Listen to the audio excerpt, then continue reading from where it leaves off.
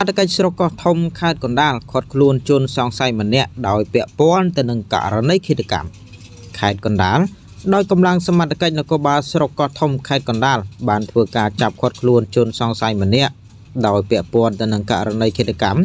ដែលជនជាឃាតករបានកាប់សម្លាប់ជនរងគ្រោះម្ដងហើយម្ដងទៀត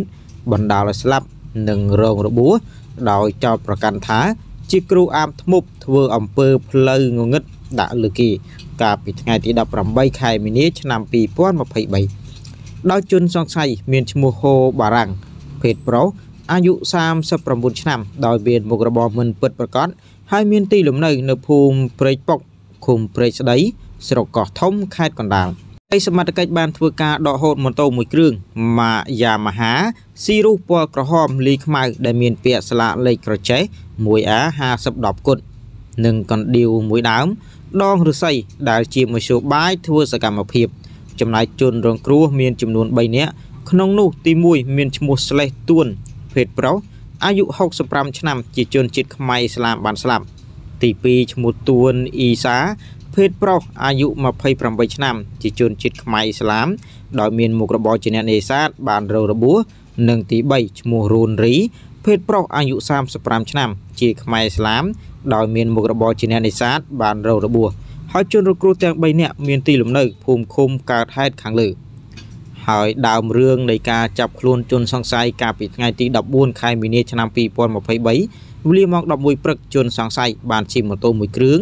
និងកាន់កណ្ដៀវមួយដើម បានចតម៉ូតូទុកនៅលើផ្លូវបេតុងក្បែរចំណុចកាត់ហេតុរួចបានដើរទៅធ្វើសកម្មភាពកាប់ទៅលើជនរងគ្រោះកំពុងដេកនៅលើគ្រែក្នុងរោងមុខផ្ទះ បណ្ដាលឲ្យរងរបួសធ្ងន់ជាច្រើនកន្លែងហើយបន្ទាប់មកក្រុមគ្រួសារបានដឹកបញ្ជូនជនរងគ្រោះទៅសង្គ្រោះនៅមន្ទីរពេទ្យបង្អែកស្រុកកោះធំ តែជាអកុសលជនរងគ្រោះបានទទួលមរណៈនៅថ្ងៃនោះតែម្ដងទៅ ដោយជនសង្ស័យបានជិះម៉ូតូគេចខ្លួន ទៅរាជធានីភ្នំពេញបាត់នៅថ្ងៃនោះដែរលុះនៅថ្ងៃទី18ខែមីនាឆ្នាំ2023វេលាម៉ោង11:30នាទីព្រឹក ជនសង្ស័យបានជិះម៉ូតូមកដល់ចំណុចកើតហេតុនោះវិញ ដើម្បីធ្វើសកម្មភាពកាប់សម្លាប់ជនរងគ្រោះម្ដងទៀតដោយមិនដឹងថាជនរងគ្រោះបានស្លាប់នោះទេហើយនៅពេលទៅដល់ជនសង្ស័យដៃកាន់កណ្ដៀវដដែលហើយបានស្រែកទៅកូនកូនជនរងគ្រោះថា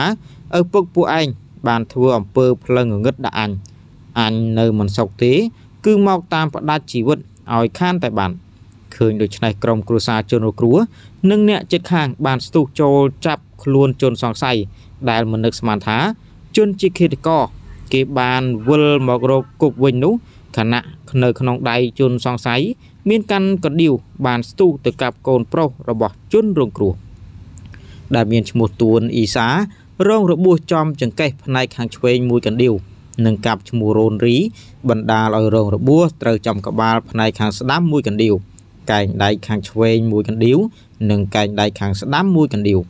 ពីនោះក៏មានការប្រតាយប្រតបគ្នាធ្វើឲ្យជនសង្ស័យត្រូវរងរបួសធ្ងន់ផងដែរហើយជនសង្ស័យបានសារភាពថារូគេពិតជាបានធ្វើសកម្មភាពកាប់សម្លាប់ជនរងគ្រោះ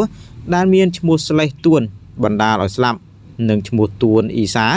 និងឈ្មោះរូនរីឲ្យរងរបួសពិតប្រកបមែនដែលគិតថា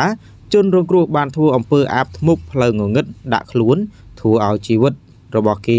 រស់នៅក្នុងភាពក្តៅក្រហាយជាប្រចាំបានជារូគេ ត្រឡប់មកធ្វើសកម្មភាពម្ដងទៀតនេះព្រោះគេមិនបានដឹងថាជនរងគ្រោះស្លាប់នោះទេ